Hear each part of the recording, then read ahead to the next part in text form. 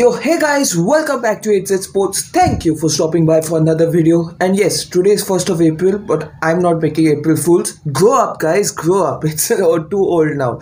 Now, let's talk about a big uh, transfer news happening. There are a lot of news. Uh, the Rowllin Borges deal, I think I left out from last video. I'll just speak about it in this.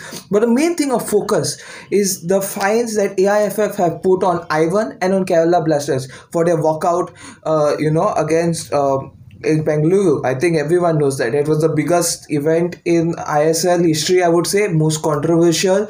I think more controversial than Stiven Mendoza's handball in the finals against FC Goa. Yeah, you can debate that in the comments down below. But before I go to the video, guys, new to the channel, hit the subscribe button. And if you want to come in contact with me, follow me on Instagram. Link is in the description below one more thing to note uh, i won't be available on ATZ sports official instagram account for the moment. I'll be only on my my personal instagram that guy oreo 961 so if you want to message me anything video recommendations podcast whatever in that okay? So do drop me a follow. Now let's talk about the big big news. So there are two fines that are put separate ones each. One is on Kerala blasters and one is on ivan.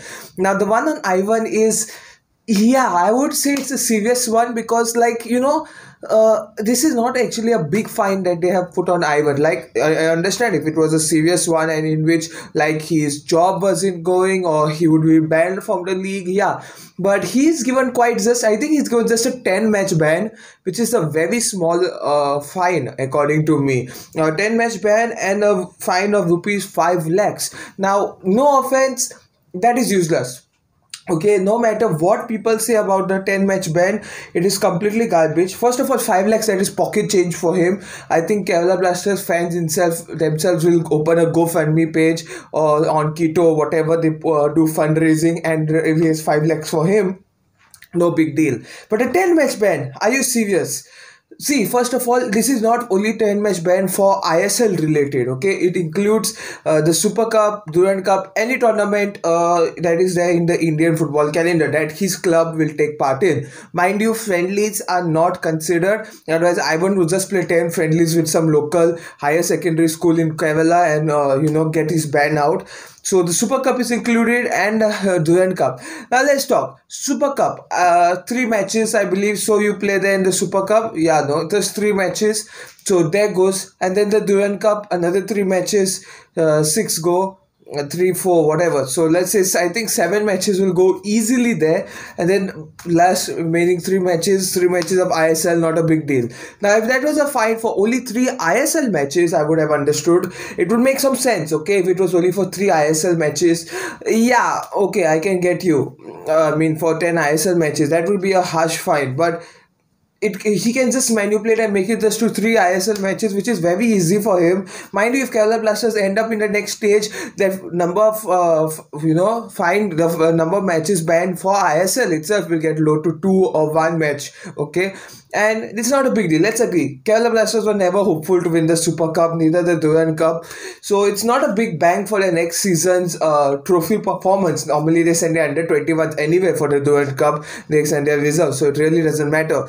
So yeah, it's a very uh, useless fine, I would say, for Ivan. As for Kerala Blasters, I think this would be a little bit of a pinch for Kerala Blasters because AIFF disciplinary committee has given them a four crore uh, fine, which I think is actually a be- better fine. Uh, of course, doesn't do a huge deal impact on Kerala Blasters because Kerala Blasters are not going to pay it directly; they are going to play in somewhat installments, which I think is a fair thing for them considering if ISL gets shifted from Star Sports to a different uh, broadcasting place like in Jio Cinema and all, they'll end up earning more from advertisement revenue uh, for match uh, for match TV telecasting. They'll earn more money, so I think that's a win situation for Kerala Blasters there overall. But uh, yeah, four crores fine. Uh, it, it is a kind of a pinch for Kerala Blasters overall, but I think uh, considering they have the biggest fan base, they sell a lot of merchandise, ticket sales, and all. I think this four crores is kind of nothing. Also, I think they had uh, got some money back from Kabra's injury or Sandesh Jhingan. I can't remember that time at the start of the season because that particular player got injured while playing for the national team, so they got some money back. I think it was. Uh, Cabra. So I'm not sure. Tell me in the comments down below. So I think it's not a big deal for Kerala Blasters overall.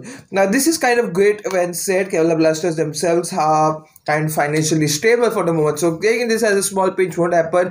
I think if the ban was put more on Ivan for the ISL season, maybe even seven match ban in the ISL season itself only, I think that would be a bigger pinch overall for the Kerala Blasters. You know, I think that would make a more. But yeah, fair play. Of course, they can go to court and talk about this. But first of all, Kerala Blasters, um, you know, Ivan will have to consider going there because if the court case goes for longer and his match ban gets over, I don't know what's going to happen. So yeah, now talking about another big deal, and that is Rowllin Borges joining FC Goa.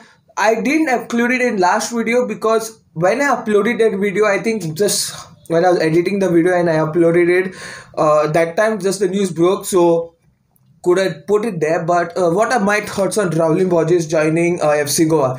I would say it's a fair deal for Rowllin Borges. It's not that nothing personal. I love him as a Mumbai City player, but he is kind of you know I can see him losing uh, his uh, foothold in the club, his position in the club, especially after that huge injury that he had. He couldn't play many matches. I feel sorry for him because of that. Um, injuries are a sad thing. It, it affected him for two complete seasons almost, and uh, you know I feel once again you can understand from my point of view what I'm saying. Like he couldn't play in the matches. Uh, he lost his position to Apuia, Vinit Rai, and with other new players coming in, Mumbai City will of course get some new signings. Uh, I can see why he would want some more game time. And considering FC Goa are kind of in their reform time means in their changes they're trying to get new players i think they are they and Bengaluru are involved in the most transfers this transfer window yeah, fair play to them. Great job by FC Goa overall. It's kind of a good deal, I can say, uh, him joining uh, FC Goa because he'll get quite a game time.